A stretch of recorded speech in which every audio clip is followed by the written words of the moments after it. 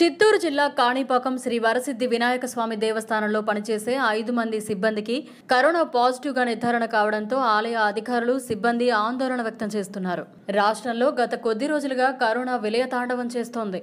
ముఖ్యంగా చిత్తూరు జిల్లాలో అత్యధికంగా కరోనా కేసులు నమోదవుతున్నాయి. ఇందులో భాగంగా కాణిపాకం ఆలయంలో పనిచేసే ఐదు మంది సిబ్బందికి కరోనా పాజిటివ్గా నిర్ధారణ అయింది. దీంతో ఆలయ సిబ్బంది భక్తులు స్థానిక ప్రజలు ఆందోళన వ్యక్తం చేస్తున్నారు.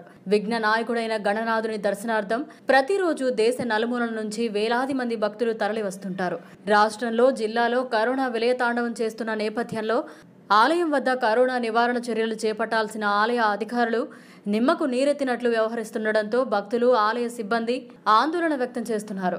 ఆలయంలో పనిచేసే అధికారులు సిబ్బంది అర్చకులు వేద పండితులకు గురువారం నుంచి నిర్ధారణ పరీక్షలు నిర్వహిస్తున్నారు. ఈ పరీక్షలు మూడు రోజుల పాటు కొనసాగనుంది. ఈ నేపథ్యంలో ఇతర అర్చకులకు ముగ్గురు సిబ్బందికి కరోనా పాజిటివ్గా రిపోర్టులు వచ్చినట్లు తెలుస్తోంది. మరికొంతమంది సిబ్బందికి రిపోర్టులు రావాల్సి ఉంది. పరీక్షలు చేయించుకున్న సిబ్బంది అర్చకులు వేద పండితులకు రిపోర్టులు వస్తే మరింత మందికి కరోనా పాజిటివ్ వస్తుందని ఆందోళన వ్యక్తం చేస్తున్నారు.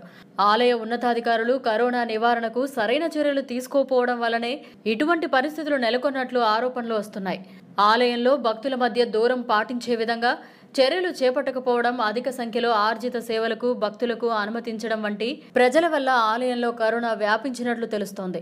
వ్యాపార ధోరణిలో ఆలయ ఆదాయమే పరమావధిగా పెట్టుకుని ఆలయ ఉన్నతాధికారులు కరోనా నివారణ చర్యలు చేపట్టకుండా నిర్లక్ష్యంగా వ్యవహరించడం వల్లే కాణిపాకంలో భారీగా వ్యాప్తి చెందు కాణిపాకంలో కోవిడ్ నైన్టీన్ భారీగా వ్యాప్తి చెందుతున్నట్లు భక్తులు స్థానికులు ఆరోపిస్తున్నారు.